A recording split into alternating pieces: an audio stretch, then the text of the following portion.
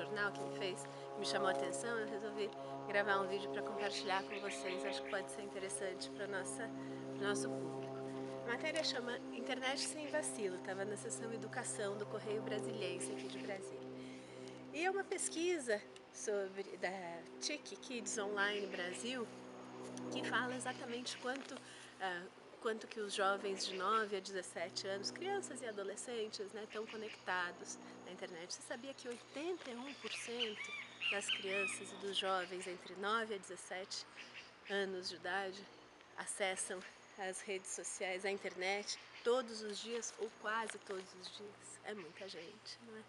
E o maior problema que mostra nessa matéria é o que eles falam, de, os aplicativos de conversa, né, os grupos do WhatsApp, quando que isso pode gerar bullying ou, falando linguajar da internet, o cyberbullying, né, quando uma, um grupinho de amigos cria um grupo no WhatsApp para falar mal de um outro amigo, e isso até é, teve, deu problemas, é, chegou até problemas sérios de uma, de uma menina que teve que procurar um psicólogo, que não, com muito problema de autoestima, que não, não se achava mais é, boa em nada, né, por estar tá, por tá fazendo, a gente sabe os perigos do bullying, né, e o que a gente vê na vida real, muitas vezes é, acontece também na vida virtual. Né? As pessoas são pessoas em qualquer lugar. E a gente vê, a gente tem visto casos não só entre crianças e adolescentes, mas entre adultos mesmo, de ofensas, xingamentos, coisas que muitas vezes a pessoa não falaria na frente, né, olhando na frente da pessoa, mas como ela está atrás de uma câmera, ela está atrás de um computador, ela digita lá qualquer coisa e não pensa que tem uma pessoa do outro lado ouvindo né, que tem uma pessoa que vai ler essa mensagem. Então, 20% dos jovens e crianças afirmam ter recebido algum, alguma mensagem de ódio, de ofensa, alguma mensagem mais pesada nesses, nessas conversas online.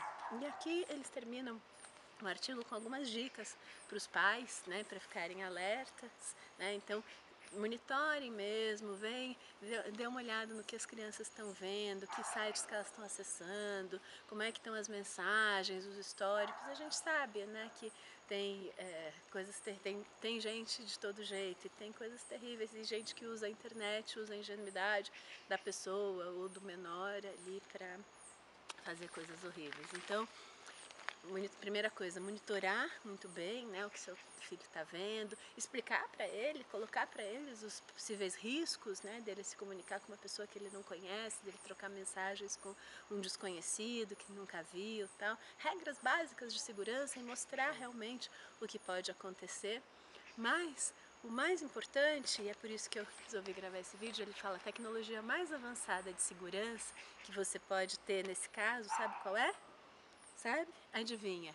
É o diálogo, é conseguir ter uma conversa franca e aberta com o seu filho, né? com, o seu, com, com seus alunos, nos casos, no, quando, é, e quando isso acontece também na sala de aula, né? com o grupo de alunos que às vezes é, causa algum conflito, gera algum conflito.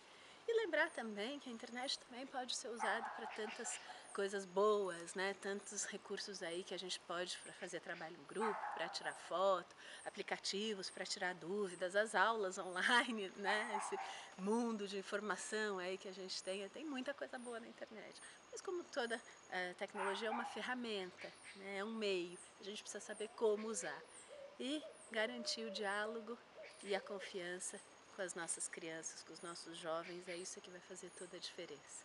Então, a maior tecnologia que a gente pode ter é na relação, é no diálogo, é na confiança. O seu filho tem que confiar em você e você tem que conseguir ter uma conversa franca e aberta com ele para ele poder te contar o que está acontecendo. Esse, isso é o mais importante.